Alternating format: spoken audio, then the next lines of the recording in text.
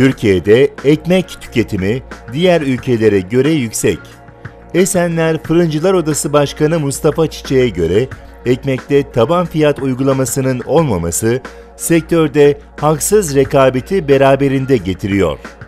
Biz bu çalışmalarımızı yaparken Esenler Belediyesi ile belediye başkanımızla özellikle Mehmet Tevfik Göksu'ya çok teşekkür ediyorum. Esnafına göstermiş olduğu yakınlıktan dolayı. Bunun yanında Tarım İlçe Müdürümüz el ele e, Esenler İstanbul'da ilk 5 ilçenin içinde diyebilirim. Fırın sektörü bakımından diyorum. Bize çok yardımcı olmuşlardır. Çok mesafe aldık hijyen bakımından. Esenler ilçesinde kayıt altında olmayan hiçbir tane fırınımız yoktur. Tarım Bakanlığımız e, üretim izin belgesi vermiştir. Bunun yanında belediyemiz ruhsat alamayan yani ruhsatta sıkıntı yaşayan mevzuatlardan dolayı bunlara da çok güzel bir çözüm üretti. Ünlü mamurlar adı altında tüm fırınlarımız ruhsatlandırılmıştır. Ruhsatsız hiçbir fırınımız yoktur.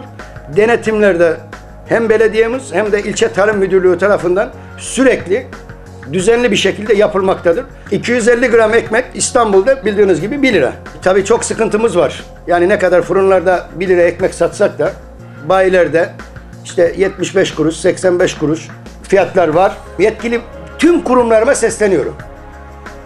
Para kazanmak amacı olmayan bir işletme 60 kuruşa ekmek satarken bizim gibi herkes gibi para kazanmak amacı olan bir işletme 40 kuruşa nasıl ekmek satar?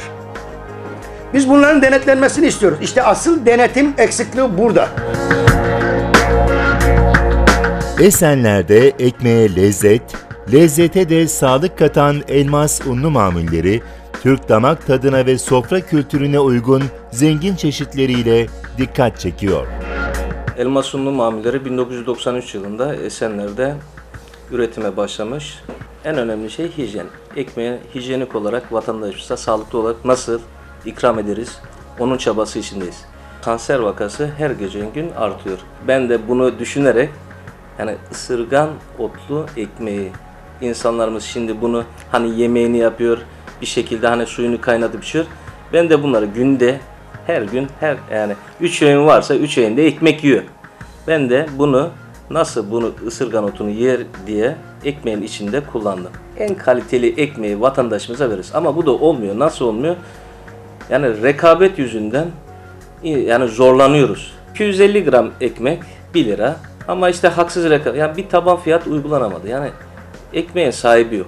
Sadece şunu taban fiyatı bir uygulasınlar. Yani bunun altına yani satmasınlar. Eğer satıyorsa da çıksınlar desinler ki ya biz bak bu, bu maliyetleri yapıyoruz. Hani açıklasınlar bak işte biz bu maliyette çıkartıyoruz desinler. Biz de inanalım onlara. Yani bizde mi sorun var onlardan mı sorun var?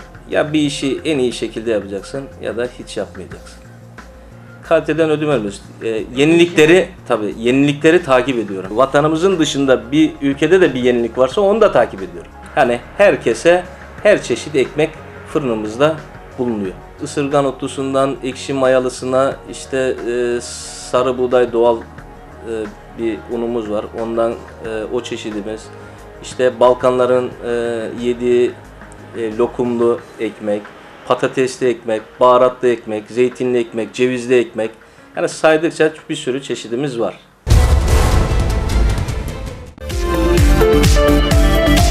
Müzik